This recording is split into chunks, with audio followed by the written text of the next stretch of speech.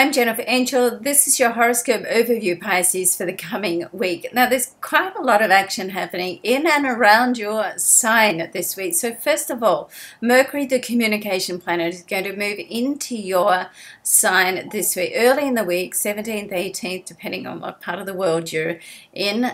And it's going to join the sun for a few days and it's going to uh, join or conjunct, so really just come to the same degree as Neptune. Now, of course, Neptune is your ruling planet, been in your sign for some time, slow moving planet, going to be there for some time. So, when Mercury and Neptune come together at that exact degree towards the end of the week or over the weekend, um, this is a very creative area. So, if you're working on a creative concept, then even though it is the weekend, try to put some time aside to, to work on that and you can really sort of get some clarity on, on that on it on both an intellectual level and on an intuitive level. So it's like common sense and your intuition come together. And I always say if you can get those two together, um, which is great for you, Pisces, because you are a, a dual sign with the two fishies, you do like to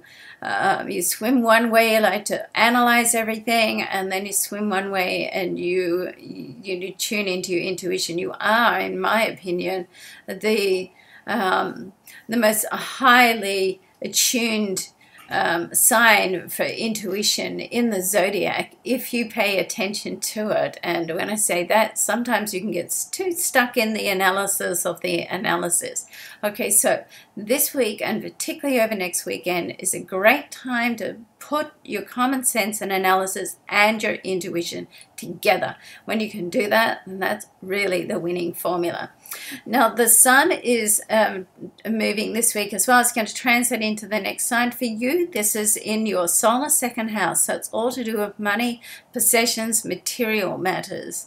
Uh, so this is like a whole new cycle, um, whole new sol sol solar cycle, excuse me, to do around your money and but particularly money that you make directly from your um, you, the work that you do. So, firstly, you want to check how you feel about money. What's your attitude? Okay, so you want to also in this area, it's quite often how much you think you are worth or feel you are worth is can be directly relative to what you will receive. Okay, so make sure that your attitude about money is doesn't have any sort of kinks of unworthiness in there and if it does, then this is the week to really do some work on that um, and capitalize on this energy. This the sun is going to move into that area of your chart around middle to end of week, 20th, 21st. Okay, so that's your exercise and homework for this week.